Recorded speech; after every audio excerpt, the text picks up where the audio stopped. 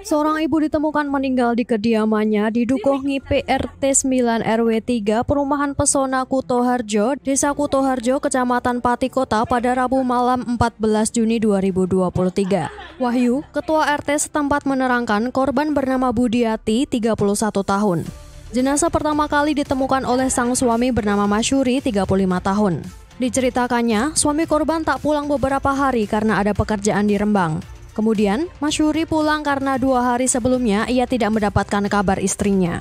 Beberapa menit kemudian, sang suami mendatangi sejumlah warga untuk meminta pertolongan. Tidak sendiri, jenazah korban ditemukan bersama ketiga anaknya. Masing-masing berusia 4 tahun, 2 tahun, dan satu anak yang masih bayi dipeluk oleh sang ibu. Oleh warga, jenazah dan anak-anak kemudian dilarikan ke rumah sakit untuk dilakukan penanganan karena sang anak mengalami dehidrasi. Sementara, Kasat Reskrim Polresta Pati Onkoseno Gradiarso Sukahar saat diwawancarai terpisah mengaku telah mengevakuasi korban. Pihak Polresta Pati kini sedang menyelidiki kasus ini. Dari Pati, Moh Anwar Mitra Pos melaporkan.